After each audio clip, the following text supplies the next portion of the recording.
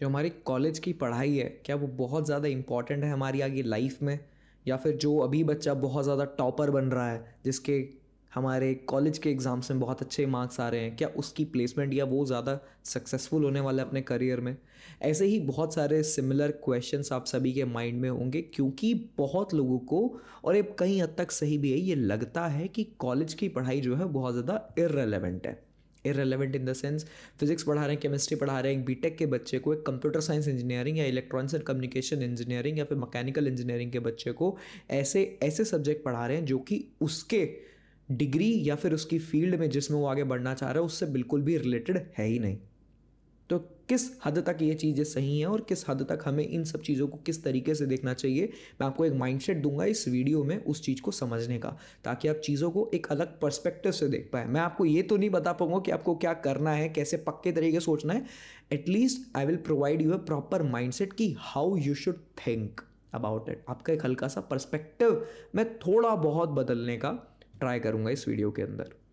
मैं video majorly specifically रख रहा हूँ B tech B S C B A B com B C A B B A etcetera etcetera ऐसी degrees या फिर ऐसे कोर्सेज ऐसे तीन या चार साल के कोर्सेज की मैं बात करूँगा, उन्हीं के ऊपर पूरी की पूरी हमारी जो वीडियो है ये पूरी बेस्ड होगी, जिनके अंदर पढ़ाई इतनी ज़्यादा टफ नहीं है, यानी कि ग्यारहवीं, बारहवीं का सिलेबस जो है, वो उन डिग्री के मुकाबले टफ होता है और डिग्री के अंदर जो सिलेबस जो आपको पढ़ाया जा रहा है वो बहुत ज़्यादा ईजी रहता है as compare to eleventh and twelfth क्योंकि इलेवंथ एंड ट्वेल्थ में तो यार आपने बहुत ज़्यादा मेहनत करी है और अभी आप उतनी मेहनत नहीं कर रहे हो, ये आपको ये पता है। इलेवन ट्वेल्थ में हर लोग, हर बंदे को बहुत बाद में जाके पता लगता है कि हम ग्यारहवीं, बारहवीं में अपने प्राइम में थे।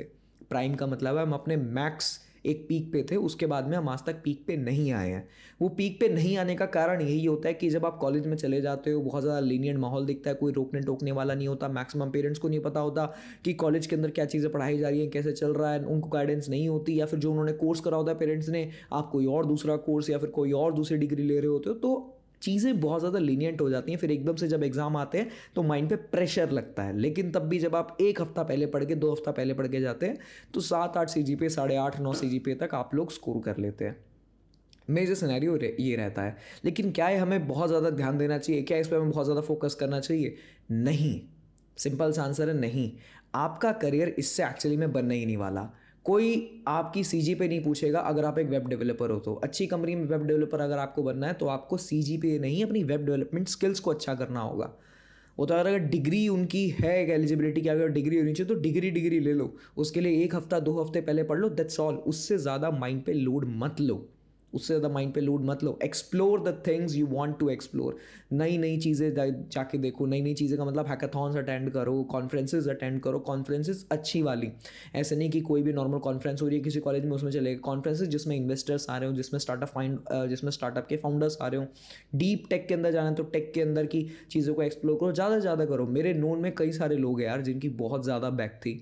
बैक क्या बैक आना गलत है? नहीं बैक आना बिल्कुल भी गलत नहीं है। अगर आप बैक जान पूछ के लाए हो, तब वो गलत है। लेकिन अगर आप कुछ उससे ज़्यादा प्रोडक्टिव कर रहे थे, जितना आप उस एग्ज़ाम के अंदर, जिस टाइम पे आपका एग्ज़ाम था, उस टाइम पे पढ़ने के अलावा अगर आप कुछ टाइम वेस्ट कर रहे थे तो बैक लाना बिल्कुल गलत है। लेकिन अगर आपने कुछ ऐसा करा जो कि एग्ज़ाम से बहुत ज़्यादा इंपॉर्टेंट है आपके करियर वाइज या फिर आपको बहुत ज़्यादा अच्छा लगता है वो, और वो पॉजिटिव इंपैक्ट देगा आपकी लाइफ के ऊपर then you should go for it आपने उसके लिए बैक लाई कोई दिक्कत नहीं है, अगले सेमेस्टर में क्लियर हो जाएगी वो तो या फिर नेक्स्ट ईयर में क्लियर हो जाएगी। कोई इशू नहीं है। मेरे नोन में बहुत सारे लोग हैं जिनकी आठ आठ, दस दस बैक थी and now they are in बहुत बड़ी बड़ी कंपनीज़ टिकटॉक स्नैपचैट ऐसी कंपनीज़ में मेरे सीनियर सीनियर जो लोग काम कर रहे हैं और इंडिया से बाहर हैं। कुछ इंडिया के अंदर भी रिमोट वर्क भी कर रहे हैं। और उनके पैकेज आप सुनोगे, ढाई ढाई, तीन तीन करोड़ रुपए के तो कुछ कॉलेज की पढ़ाई आपकी प्रोफेशनल करियर पे बहुत ज़्यादा इम्पैक्ट नहीं डालती है लेकिन कॉलेज लाइफ एक हद तक थोड़ा बहुत डालती है क्योंकि अल्टीमेटली इट मैटर्स अलॉट कि आप कैसे पेयर ग्रुप के साथ रह, रह रहे हो। आपके आसपास लोग कैसे अगर आप सोच रहे हो कि अकेला सब कुछ करना तो करो भाई फटाफट फटाफट करो। लेकिन अगर आपके पास पेयर ग्रुप है और वो प्रोडक्टिव नहीं है वो लोग कोडिंग नहीं करते अगर आप कोडिंग में जाना चाहते हो तो then change your pair group ये एक मेंटर ने बताया था वन ऑफ़ माई मेंटर कि भाई पेयर ग्रुप इज़ द मेरे जो मेंटर थे मतलब अब तो नहीं है वो मेरे मेंटर क्योंकि शायद उनको मेरा नाम भी नहीं पता, लेकिन मैं उनको बहुत ज़्यादा सुनता था। ठीक है, थोड़ा बहुत वो जानते थे मुझे, लेकिन अल्टीमेटली एक कोर्स के लिए मैं उनके पास ज्वाइन हुआ था लाइव कोर्स था वो तो उन्होंने ये बताया था कि भाई Ayush mentor means allot mentor means allot a peer group means allot peer group आपका जैसा होगा, वैसे ही बनते चले जाओगे। अगर जो आप करना चाहते हो और पीयर ग्रुप में लोग वैसी बातें नहीं कर रहे हैं then change your peer group आपका फ्रेंडशिप वाला ग्रुप अलग है या फिर पेयर ग्रुप अलग है, कोई इशू नहीं है। ज़रूरी नहीं कि आप एक ही बंदे के अंदर या उन चार पाँच लोगों के अंदर सारी की सारी क्वालिटीज़ ढूंढो।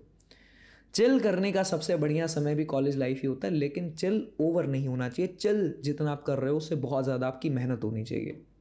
अगर आप दो घंटा चिल कर रहे हो चिल करने में कुछ भी हो सकता है इंस्टाग्राम हो सकता है व्हाट्सएप हो सकता है, लोगों के साथ में बातें हो सकती हैं कॉल पे बातें हो सकती हैं एक्सेट्रा एक्सेट्रा कॉलेज में घूमना हो सकता है, लेकिन जितना आप चिल कर रहे हो, उसका कम से कम डबल तो आप हार्डवर्क करो अपने करियर वाइज या फिर अपने interest wise that's all for this video मैं आपको समझाना चाहता था, एक छोटा सा माइंड देना चाहता था। बाकी मिलते हैं ऐसी बहुत सारी वीडियोज़ के अंदर।